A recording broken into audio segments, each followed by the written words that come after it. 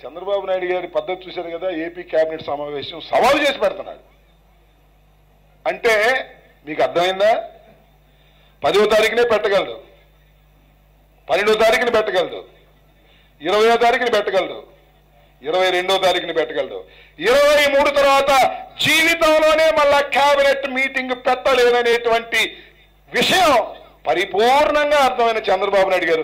పదిని పెట్టుకోమను పన్నెండు పెట్టుకోమను పదమూడు పెట్టుకోమను అధికారులు ఎవరు వెళ్ళరు? ఆయన ఆయన క్యాబినెట్ లోకేష్ బాబు గారు ఆయన కూర్చుని పెట్టుకోమనండి. ఏం పెట్టుకుంటారు నాకు అర్థం కాలే. పెట్టుకుని ఎవరికైనా పొలం ఇవ్వటం ఎవరికైనా డబ్బులు ఇవ్వటం ఇవన్నీ నిర్ణయాలు చేసిన అమలు కావు. నీ ప్రభుత్వం రాదు.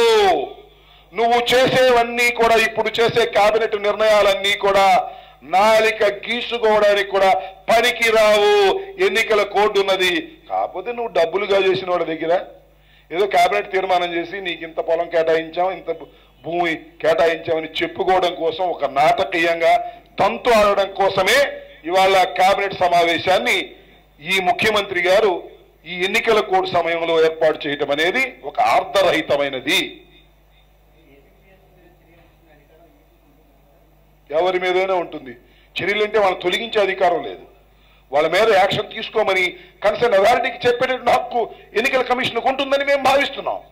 ఎన్నికల కమిషన్ ఒక్కసారిగా ఏపీపీఎస్సి చైర్మన్ తొలగించలేకపోవచ్చు. కానీ రికమెండ్ చేయవచ్చు.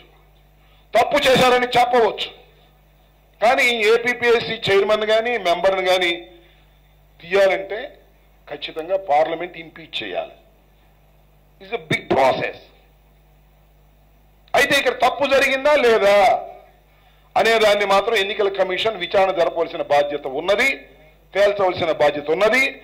మేము ఇచ్చినటువంటి ఒక రిప్రజెంటేషన్ ఒక కంప్లైంట్ లాజికల్ ఎండ్కు వెళ్ళవలసినటువంటి అవసరం ఉన్నది ప్రజాస్వామ్యంలో.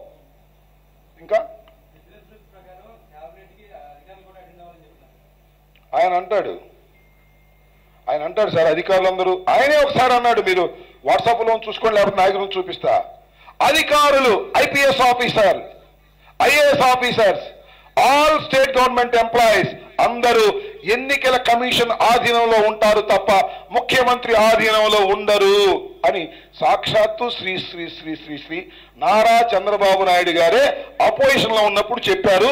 ఆయన అపోజిషన్లో ఉన్నప్పుడు చెప్పిన మాటలు ఆయన ముఖ్యమంత్రి అయితే వర్తించవా అనే విషయాన్ని ఆయన నేను సూటిగా అడుగుతున్నాను.